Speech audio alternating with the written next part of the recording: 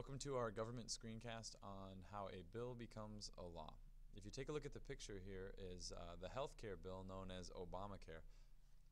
And you notice how huge that is. And one of the questions we're going to get at today is how does Congress, whose job it is to write the laws, handle uh, getting bills like this? And as we mentioned earlier, they get approximately 10,000 bills per year um, and many of them not the length of this, but also uh, still to some extent they're, they're long bills and they take a lot of time to read. So how do they handle all this?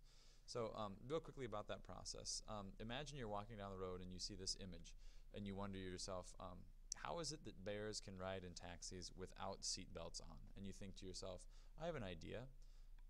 I think bears ought to wear seatbelts. So you are a constituent, which means you are a citizen that is represented by the government and let's say you live in Edina. Here's a map of Edina. If you live in the red area, you are a constituent that is represented in the House of Representatives by Keith Ellison.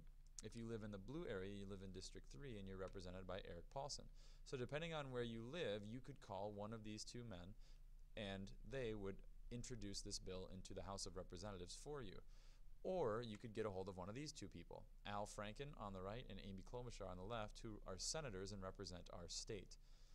Uh, between these people, the easiest to get a hold of would be House members because they represent a district, which is significantly less people than a state. So let's imagine that you live right in this area down here, right, and you decide then that you're going to call Erik Paulsen. So you call him up and say, Erik, I think we ought to write a bill that says bears have to wear seatbelts. And he agrees, so he writes it he sponsors it and, uh, and, and, and, introduces it into the House of Representatives.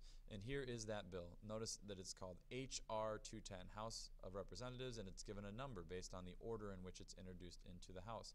If it had started in the Senate, it would be known as S 210. Okay?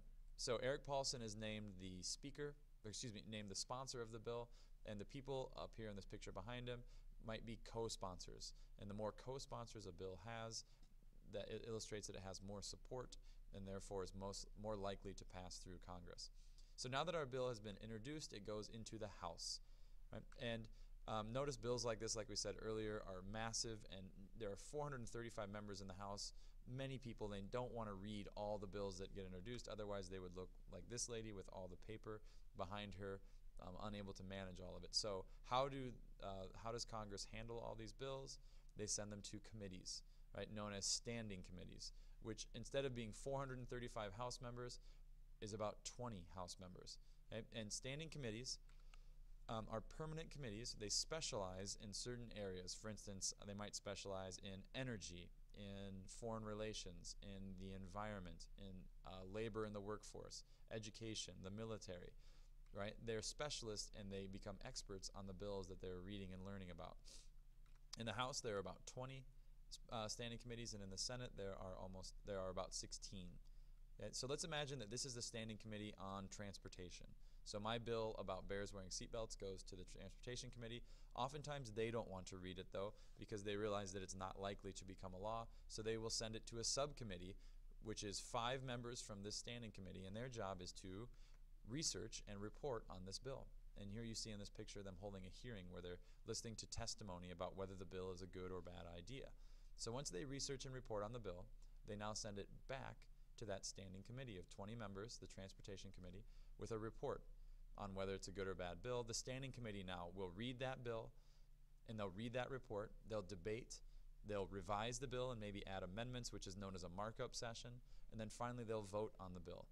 If they vote yes, the bill will go on. If they vote no, it will die, or they could table the bill indefinitely, which means leave it um, and research or look at it later, which oftentimes results in a bill dying a slow death. Now, maybe uh, now you would be thinking that after the standing committee, now it would go back to the House, but that is wrong. In the House of Representatives, there's another committee that the bill has to go to called the Rules Committee, right? And the Rules Committee's job is to decide how uh, much debate can happen about this bill. In an open debate, people can talk for an extended amount of time. In a closed debate, it's very limited.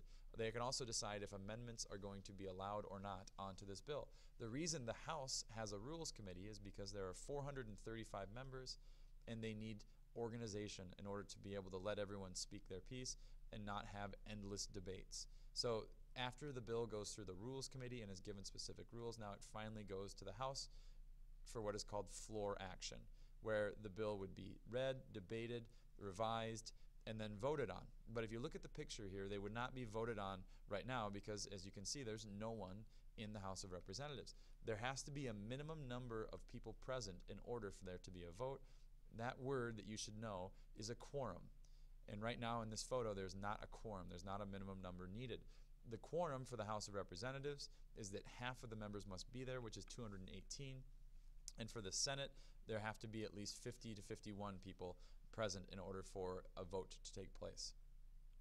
So now that the, the, the, there's a quorum in the House, the, uh, the bill is again read and possibly debated more, amendments are read, and it's voted on finally. If uh, 218 members, which is a majority of the House, vote yes, then the bill moves on. If they vote no, the bill would die. So now it gets to go to the Senate. And if we take a look at the Senate, this cartoon illustrates that it is much, much tougher for a bill to get through the Senate than the House. Here you see a knight that is representing Obamacare who just went through the House and said, well, that wasn't so bad. And little does he know, behind him is the Senate, which is a Tyrannosaurus Rex and ready to take him out. The reason that this is a Tyrannosaurus Rex, the Senate, is because it's much slower and harder for, bill, for bills to get through the Senate. This newspaper article um, illustrates that it says 290 House bills waiting for Senate approval. There are hundreds of bills sitting outside the Senate waiting uh, that the House has approved, but the Senate is slow and not and hasn't gotten to them yet. So once it enters the Senate, the bill will do all the committee things again that we talked about in the House with standing committees and subcommittees, and finally it would reach the Senate floor where for floor action where there are 100 members. Now the difference between the Senate and the House is that there are no rules on debate in the Senate. Someone can talk as long as they want to. And this brings about um, after they read, debate, revise, they can, they can filibuster, which basically means they can talk endlessly with the goal of trying to delay the vote on a bill, therefore um, not allowing a bill to pass. The only way a filibuster can be ended, oh, excuse me, I have this picture.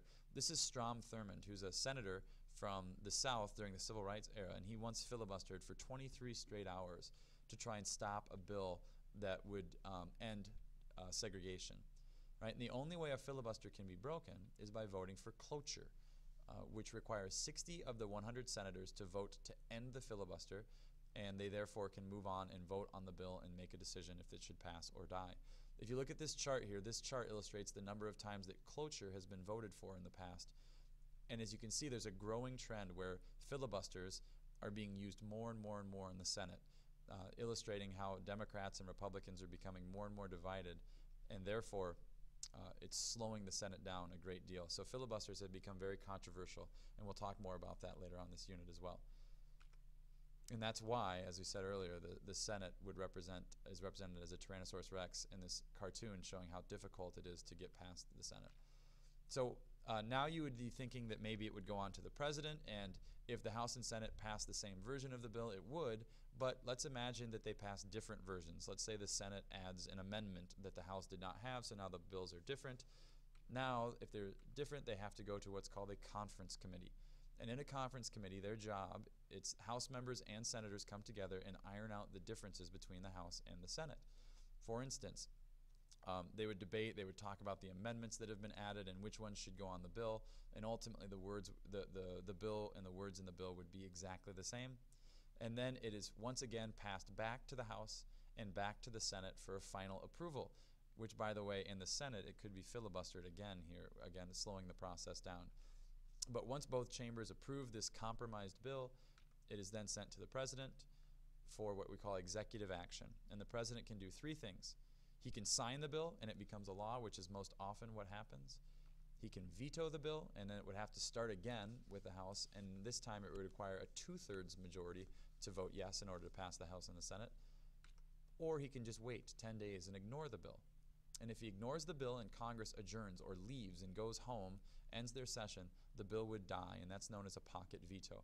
One of Barack Obama's vetoes in his first four years in office was a pocket veto. If Congress stays in session and he doesn't sign the law and waits 10 days, then it becomes a law without the president's signature. So let's imagine that the president signs this bill about bears wearing seatbelts, and now we have bears wearing seatbelts, which thank goodness because it would be dangerous if this bear got out. At the end of the day, though, this isn't still this law still isn't safe. If someone decides it's not a fair law or not constitutional, and they sue the government, that could go to the Supreme Court, where they would be able to strike down that law using what's called judicial review, and decide that it, it, it's not appropriate, and the legislative branch would either need to fix it or it would be totally scrapped. So this is the life of a bill. Um, and if you have any questions, bring those to class. Hopefully you can understand this, pause it, and take notes and go back and understand these processes. This is very important for this unit, and we'll be discussing it much more in class. Thanks.